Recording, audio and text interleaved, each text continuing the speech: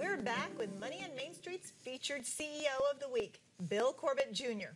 Bill owns PR firm Corbett Public Relations, and his clients have been featured in Business Week, the New York Daily News, and our print partner, LIBN.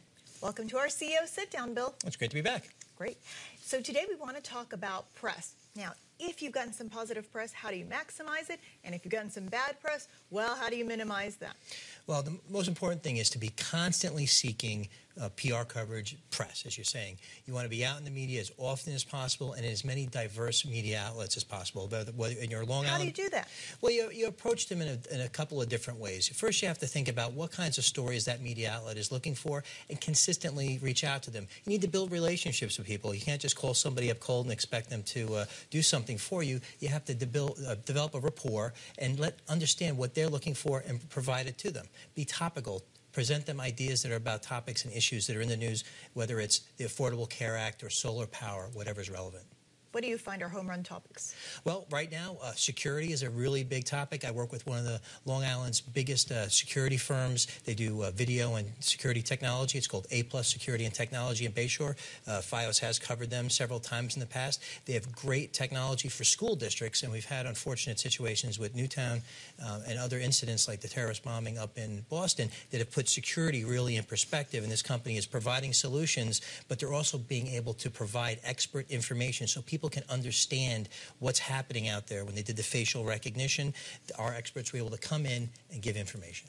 Now, talk to me about the difference between word of mouth mm-hmm. generating buzz and social media. So many companies have said, oh, I get my best clients through word of mouth, but social media has become so important these Absolutely. days. Absolutely. I represent REMAX of New York, one of the biggest brands in real estate in New York State, and I can tell you a lot of the top agents get 100% of their business through referrals or word of mouth. So that still works.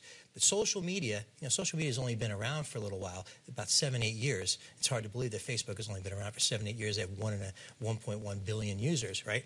But social media allows you to take that word of mouth recognition and uh, recommendations and amplify it.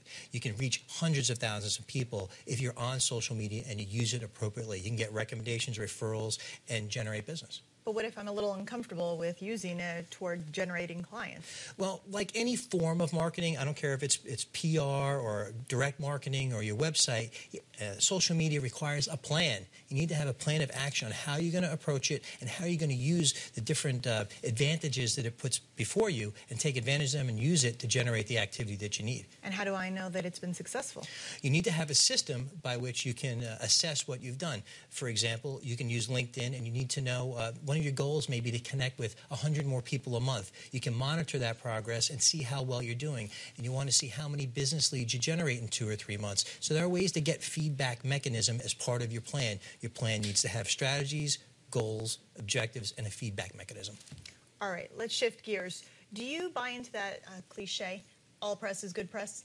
Um, I do not. I believe that negative press can kill and often will kill a business. You have a restaurant, for example, that may have a food poisoning issue. You may have a company that has an executive that's maybe done something illegal or tax evasion or something, and that can really damage the company's brand and potentially put it out of business. So how do I turn that around? Well, you turn it around by being proactive in the beginning. You need to be constantly seeking positive press and building relationships with members of your community. We call that reservoirs of goodwill. So, in case a bad situation happens, you know people at a media outlet, you know people in your community, and they'll come to your defense, or at least you can tell them the honest side of the story or your side of the story. And in 10 seconds, um, how would I do that? How would you you would uh, say you say have a negative situation happen and there's a newspaper that you know is going to be covering it. Reach out to the reporters who you've talked to in the past and say, hey, can I tell you my side of the story? Or at least can you help to find out a way to convey a message that doesn't hurt your business? Okay, great advice. Thank you so much.